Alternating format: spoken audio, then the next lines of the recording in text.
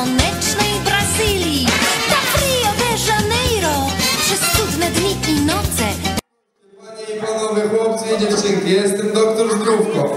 Cieszę się niezmiernie, że tak licznie przybyliście na Dzień Szczęścia i Zdrowia. Warto jeść puste ryby, ponieważ zawierają dużo witaminy D, a poza tym mają bardzo dużo kwasów omega-3, które uwalniają szczęście w mózgu. Powiedziałam, co miałam powiedzieć, dlatego spływam. Bye bye. Teraz moja kolej. Jestem D.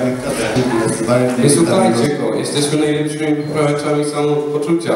Jestem Chips, tłusty, słony Chips, uwielbiacie mnie. Nie wierzę w to, co słyszę. Przecież każdy wie, że chipsy są bardzo niezdrowe, prawda dzieci? Jedzenie chipsów powoduje obrastanie w tłuszcz i obniża samopoczucie. To na pewno nie jest jedzenie poprawiające humor. A na mnie co masz, paniaczku? Jestem super słodki napój owocowy, gaszę pragnienie i jestem bardzo smaczny.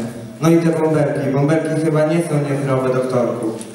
Drogie dzieci, bąbelki może i nie są niezdrowe, ale chemia, sztuczne barwniki i ogromne ilości cukru w tych napojach mogą zrujnować wasze organizmy.